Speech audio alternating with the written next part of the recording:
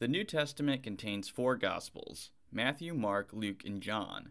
The first three Gospels, Matthew, Mark, and Luke, are generally recognized to exhibit much more similarity to one another than John, and they are referred to as the Synoptic Gospels.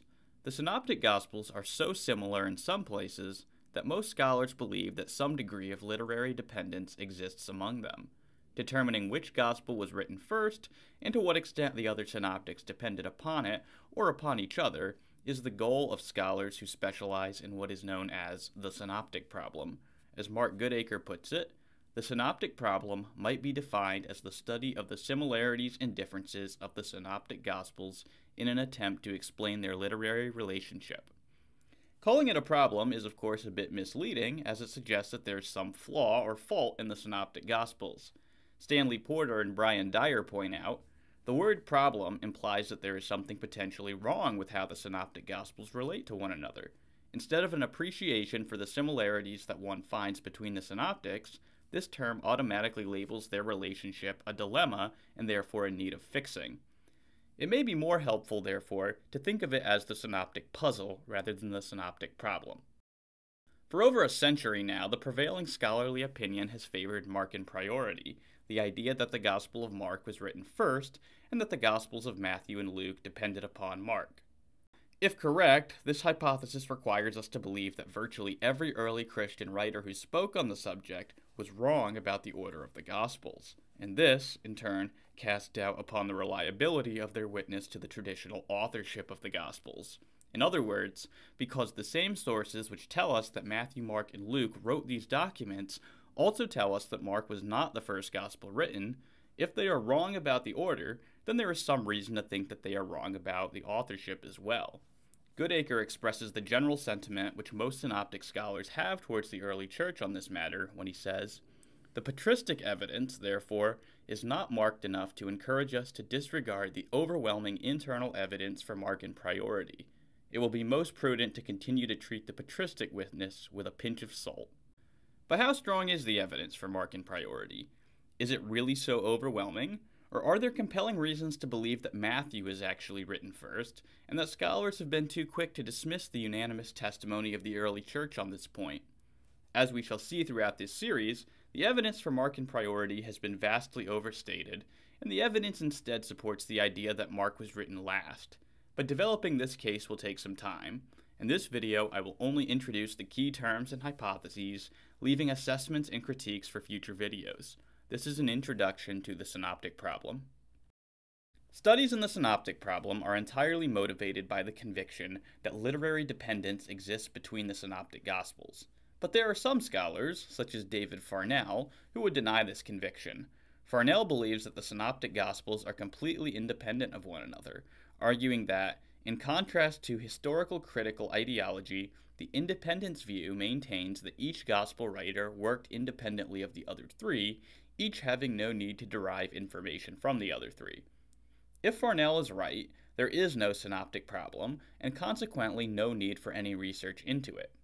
There is, however, a very serious objection to Farnell's hypothesis, namely that there are areas of verbatim agreement among the synoptics. For example, consider a parallel story in Matthew 21 23 through 27, Mark 11, 27 through 33, and Luke 20, 1 through 8. You'll notice that these passages exhibit word for word correspondence in a great many places. This might seem easily explained by all three Gospels simply reflecting what Jesus and his critics really said. But remember that Jesus probably originally spoke in Aramaic, and that the Gospels are translating his words into Greek. It is highly unlikely that three authors, working independently of each other, would make the exact same translation choices this often. Furthermore, the Gospels were written several years after Jesus' ministry. It is implausible to suppose that all three Gospel writers would remember Jesus' words verbatim or get their information from those who did all those years later. This makes it doubtful that the Gospel authors even had Jesus' exact words from which to translate in the first place. This casts doubt on the complete independence view and makes it reasonable to consider that there is literary dependence at play. In reply to this sort of argument, Farnell resorts to appealing to the divine inspiration of Scripture. He argues that God revealed Jesus' exact words to the Gospel authors, as well as, apparently, the way in which he wanted them to be translated into Greek. He says, Although the Bible was written by men, God's superintendence of those men in the inscription of His Word supernaturally overshadowed the product so that the Holy Spirit guaranteed the accuracy of what the men recorded. Such precision and composition is without parallel in human historiography. While Farnell's evident respect for the divine inspiration of Scripture is admirable, there are three serious problems with his response. In the first place, from the perspective of the historical apologist, it is question begging. Historical apologetics seeks to argue that the Gospels are historically reliable, and that on this basis we can believe in Jesus' miracles, and that for this reason we can believe the words of Jesus, and that it is because of this that we can believe that the Bible is divinely inspired. There is a logical order here, and addressing the synoptic problem is part of defending the first plank in the argument. Until this has been done, from the perspective of the historical apologist, there are no grounds for assuming the inspiration of Scripture. Farnell thus risks justifying his position in a circular fashion. In the second place, if Farnell wants to invoke divine verbal inspiration of Jesus' exact words to explain verbatim agreement within the synoptics, it becomes unclear how he can explain the differences. For although there are striking examples of word for word agreement in the synoptics, there are likewise striking examples of parallel passages where Jesus says essentially the same thing, but in very different words. Is Farnell going to say that God did not choose to inspire the exact words of Jesus in these instances? And if so, why is God so selective about when he is going to inspire Jesus' exact words and when he is not? Farnell owes us an explanation for this.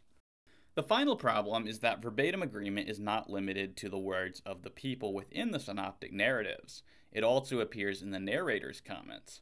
For example, consider Matthew 24:16 and Mark 13:14, where the narrator specifically addresses the reader in the exact same words. This casts doubt on the idea that Farnell's theory, if it explains anything at all, can explain all of the relevant verbatim agreements within the Synoptic Gospels. The conclusion, then, is that the complete independence hypothesis is false. There is literary dependence among the Synoptic Gospels. But what is the order of the dependence? Which gospel was first and which gospel was last? Several hypotheses have been put forward on that front, and I shall briefly introduce them now. For the past 100 years or so, the dominant proposal regarding the synoptic problem has been the two source hypothesis. This hypothesis proposes that the Gospel of Mark was written first and that Matthew and Luke both drew information from it, thereby explaining the material common to all three synoptic Gospels.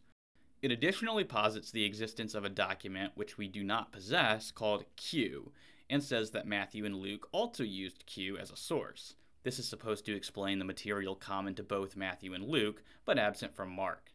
Thus, because it posits that Matthew and Luke worked independently of one another, depending upon two different sources, it is called the two source hypothesis.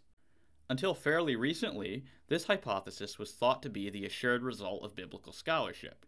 As Arthur Bellinzoni says, whether justifiably or not, one of the most widely accepted conclusions of 20th century New Testament scholarship has been a simple literary solution, namely the hypothesis that Mark was the earliest written gospel, that the authors of Matthew and Luke, in writing their gospels, used Mark and a second source, commonly designated Q, and perhaps one or more additional sources.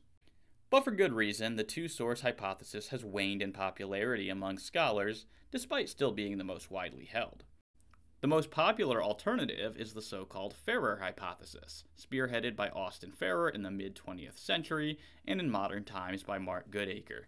This hypothesis agrees with the two source hypothesis on the priority of Mark, as well as Matthew and Luke's use of Mark, but it dispenses with the hypothetical Q document, Instead, it explains the material common to Matthew and Luke by recourse to Luke utilizing Matthew. As Goodacre explains, acceptance of the priority of Mark alongside Luke's knowledge of Matthew fundamentally alters the way in which we might view the growth and development of the gospel genre or subgenre. The Farrer theory suggests a genetic relationship among the synoptics in which each gospel's predecessor provides not only source material, but also the catalyst for writing. The priority of Mark is not universally granted, however. Though boasting a few defenders in modern times, one historically important synoptic theory is called the Augustinian hypothesis. This hypothesis posits that the Synoptic Gospels were written in the order in which they appear canonically in the New Testament Matthew 1st, Mark 2nd, and Luke 3rd. One defender of this theory in recent memory is John Wenham, who explains it as follows There seems to be a good case for believing that Matthew, possibly in a Semitic language, was the first gospel, that Mark is substantially the teaching of Peter, who knew Matthew's gospel, and that Luke knew and used both Matthew and Mark. Lastly, we come to the two gospel hypothesis, also known as the Griesbach hypothesis. This hypothesis agrees with the Augustinian hypothesis in affirming that Matthew was the first gospel to be written. It differs, however, in that it views Luke as being the second gospel and Mark as being the third gospel, rather than the other way around. In this way, Mark, being the shortest gospel, becomes an abbreviated combination of both Matthew and Luke, with some degree of unique material added in. Because it posits that Mark is a combination of two other Gospels, it takes the name the Two Gospel Hypothesis.